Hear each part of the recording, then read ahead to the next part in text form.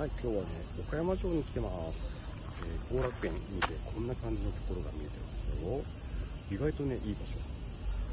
見応え唐津城と呼ばれてます。これからね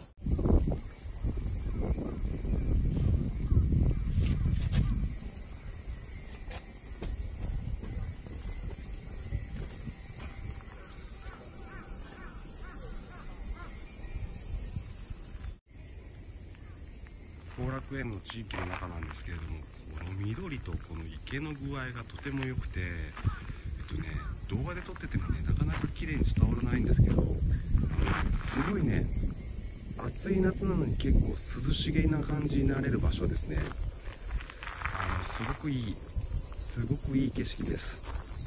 すごくんな感じでビューしましたけれどもはい、えっと、ここはね、えっと、岡山の後楽園って場所に来てます。もうこれも旅行の時の僕の日焼けグッズなんですけれども、こんな景色がね、続いてます。見てみてください。ほら、すごいですよね。綺麗。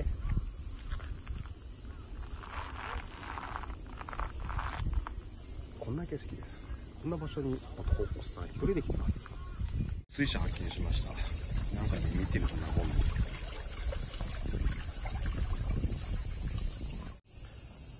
暑いですよ、えー、後楽園の終わったところのところでねこのドッポっていうのを今から飲もうと思ってます。やっぱね暑い時にねこういうビール飲むのね一番最高に美味しいですね。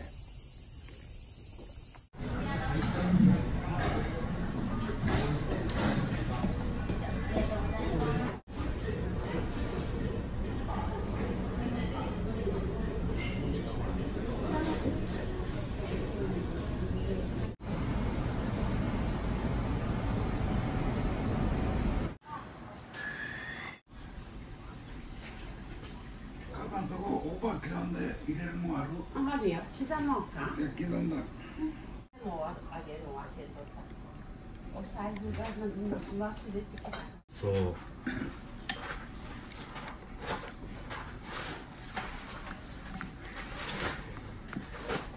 40年。